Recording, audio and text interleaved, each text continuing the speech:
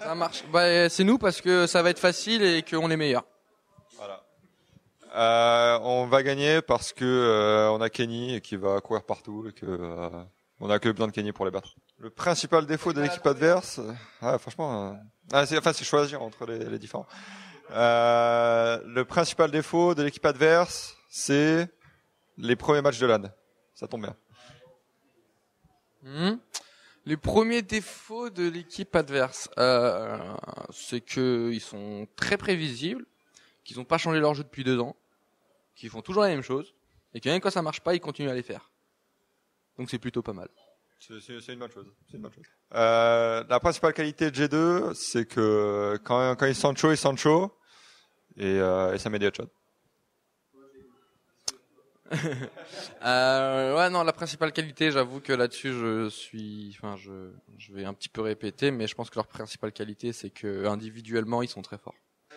Euh, qui va finir en bas du scoreboard Ça va être euh, ah. Richard. Ah ouais, très bien. Euh... Moi, je pense que ça va être Dan. Voilà. Parce qu'au niveau des entrées, ça va être compliqué parce qu'on va leur casser le cul. Donc, euh... Ils se font pas, ils se font pas entry, ils se font euh, HF. Euh, ouais, mais moi, je, je peux pas faire un mot. J'aime bien parler. Moi, je suis un mec qui aime bien parler. Donc, euh, non. Euh...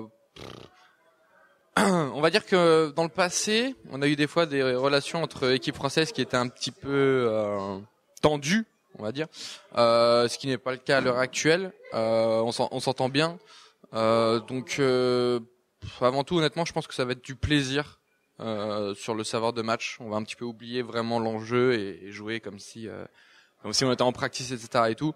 Et dans tous les cas, de toute façon, on est dans la même merde hein, actuellement, donc. euh, Évidemment que je préfère que ce soit nous. Maintenant, si c'est eux, euh, c'est ça, ça sera bien aussi. Enfin, voilà quoi. C'est au moins on n'est pas dans une dans une euh, dans un tirage où où on a envie vraiment que genre qu'il n'y ait qu'une équipe qui gagne et sinon genre c'est trop la merde. Bon, il y en a une qui sera plus déçue que l'autre et qui sera vraiment dans la merde parce que voilà à 0-2 ça va être un petit peu chaud. Mais euh, mais dans tous les cas, il y en, il y en aura un des deux qui qui en sortira euh, qui ressortira un petit peu la tête de l'eau et euh, que le meilleur gagne.